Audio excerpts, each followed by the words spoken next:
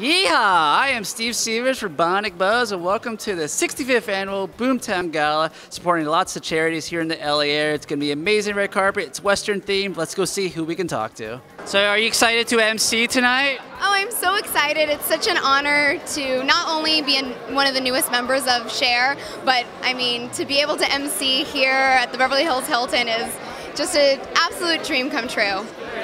Well, here at Bionic Buzz, we're all about people's passion. Where'd your passion from acting come from? Was a certain movie, a performance you saw as a kid that made you want to get into, or something that came later in life?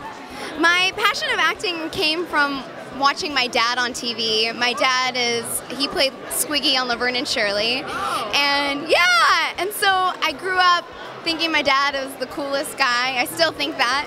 And um, he's really where I got all of my comedy inspiration from. Nice. We love you in the middle. What else is coming up for you the rest of the year? Well, I'm currently doing a show right now um, at the Rockwell Table and Stage. It's a musical parody of Clueless, and it's really fun. Oh, yeah, I love Clueless. Yeah, it's super fun. What's your favorite Clueless line? Um, you're a virgin who can't drive. All right, well, we want to keep following your journey going forward. Where can we do it on social media? Yeah, you can find me on Instagram and Twitter at Natalie underscore Lander, but I'm morely, uh, mostly like an Instagram girl. We love asking that question to figure out. All right, thank you so much.